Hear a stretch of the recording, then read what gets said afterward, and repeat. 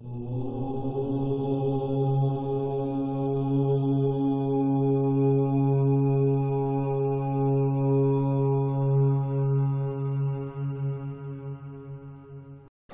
जी जय श्री राम।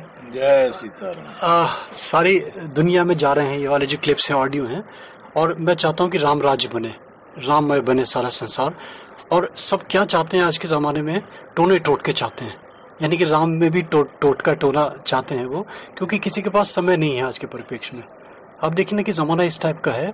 हर आदमी अगर भगवान का भी नाम लेगा तो चाहता है कैसे शॉर्टकट मिल जाए उसको। तो सबसे अच्छा राम का नाम मगर वो भी लोगों की समझ में नहीं आता। मैंने बड़ा छोटा सा होता है ना गिलहरी जैसे प्रयास करती है समुद्र पाटने का लोट लोट के रेत में तो मैंने बड़ा छोटा सा प्रयास किया कि छोटी छोटी चीज़ों के माध्यम से अच्छी चीज़ें दूँ जो लोगों के गले उठते रहें। तो उससे क्या हुआ लोगों में जागृति पैदा हुई।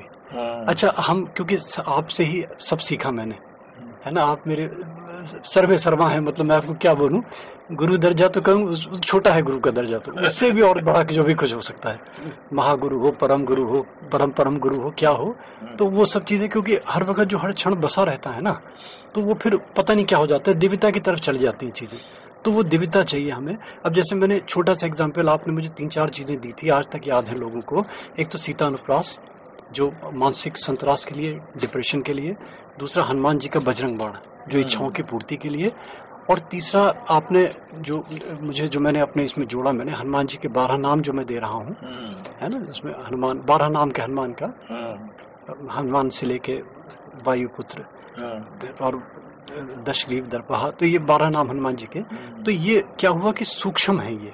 लोगों के गले उतर आते हैं। इसमें फिर हमने जोड़ा धीरे धीरे कि हनुमान जी से अगर कुछ करेगा उनका वेग वहन नहीं कर सकता आदमी। क्योंकि इतना प्रताप है उनके अंदर। तो आदमी में क्या होता है हनुमान जी का जो भी चाहे वो बीच कर रहा है चाहे हनुमान चालीसा कर रहा है चाहे दशक कर रहा है चाहे स्तोत्र कर रहा है चाहे बाहुक कर रहा है चाहे बजरंग बाण कर रहा है चाहे हनुमान चालीसा तो उसमें क्या है कि वो मैंने कहा जैसे आपने एक बार कहा भी था कि मात्र सीताराम का जाप करेगा तो कम से कम उसकी मानसिक स्थिति संतुलित रहेगी। हाँ। नहीं तो परेशानियाँ होने लगेंगी। हम्म। तो महाराज जी दो मिनट चार मिनट का ऐसा छोटा सा कुछ छोटा सा ऐसा कुछ जो लोगों को हमें हम इसको दें तो हमें आनंद की अनुभूति हो। जैसे राम का है तो एक क्या मतलब आप कहेंगे कि राम को कैसे आदमी अपना राम का पूरा राम न कहा जाए।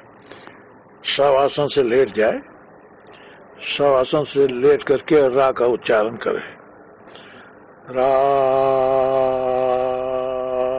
जितनी सांस होगी जी। उतनी देर। फिर आ और माँ आप से आप आ जाएगा। जी। तो इस प्रकार की साधना अगर इक्यासी दिन करे आदमी तो उसको आप से आप बिना किए ही महसूस होने लगेगा कि मैं कर रहा हूँ। मैंने अजपा सिद्ध हो जाता है इक्यासी दिन में। लेकिन सौ आसन से लेट करके करना होता है। एक सौ आठ बार ऐसे किया जाए। जी, जी। तो आपसे आप अजपा सिद्ध हो जाता है और तीन साल अजपा अगर कंटिन्यूस रहेगा तो आपसे आप अनाहत सिद्ध हो जाएगा। अनाहत जब सिद्ध हो जाएगा तो नासाग्र भ्रू मध्य यहाँ राम शब्द सुनाई देगा। जब राम शब्द सुनाई देगा तो आपसे आप जितनी भी इच्छाएँ और कामनाएँ और भावनाएँ और जितनी भी मन से संबंधित चीज़ें हैं, वो आपसे आप समाप्त हो जाएँगे। और बुद्धि में जो विचार होता है, वो केवल तत्व का विचार होगा पंच महातीत होगा। पंच ये जो पंच महाभूत हैं इनसे अतीत हो जाएगा। अन्नमय प्राणमय मनोमय विज्ञानमय आनंदमय सा आत्मा पंच कोश तीसरा जब अनाहत को प्राप्त हो जाता है तो पाँचों कोषों से अतीत हो जाता है। और पंचकोशातीत जब हो जाता है तो जिसकी उपासना करता है वो उसका दिव्य रूप प्रकट हो जाता है। और तीन साल तक के दिव्य रूप देखने के बाद बात होने लगती है साथ साथ रहने वाली बात, जैसे गोस्वामी जी के संबंध में है गोस्वामी जी देखते हैं, जहाँ भगवान का अवतार होता है, जिस ब्रह्मांड में, उसमें सब शरीर चले जाते हैं, या उस ब्रह्मांड में जो होता है, वो अपने पास बुला लेते हैं जैसे टीवी में अमेरिका की चीज़ दिखाई देती है या इंग्लैंड की चीज़ दिखाई देती है उसी तरह से हृदय में साकेत पूरा दिखाई देने लगता है। लेकिन रा अक्षर ही कहा जाएगा जब तब होगा। पूरा राम कहने पर वो स्थिति नहीं आती है। इस वजह से आसन से लेट करके अगर 108 बार रोज खाए तो ये सिद्धि होती है। हाँ महाराज जी धन्यवाद महाराज जी, एक लोगों का भ्रम होता है कि लोग अक्सर पूछते हैं कि राम बोले, ये श्री राम जय राम जय जय राम बोले सीता राम बोले, है ना, तारक मंत्र का जाप करे।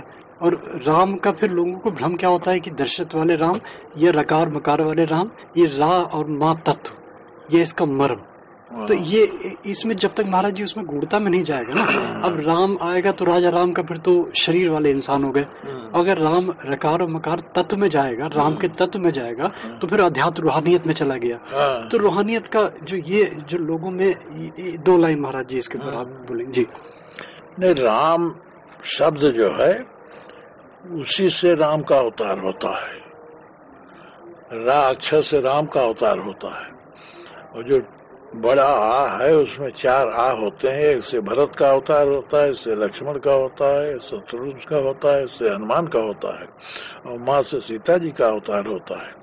इस वजह से राम शब्द ही प्रधान है।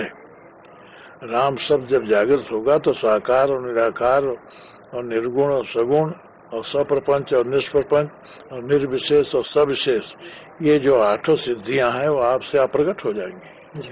महाराज जी, धन्यवाद। मैं दूसरा देखता हूँ आपसे क्या पूछें। बहुत बहुत धन्यवाद आपने किया और ये देखिए लोगों में इससे कितनी जागृति आती है लोगों में।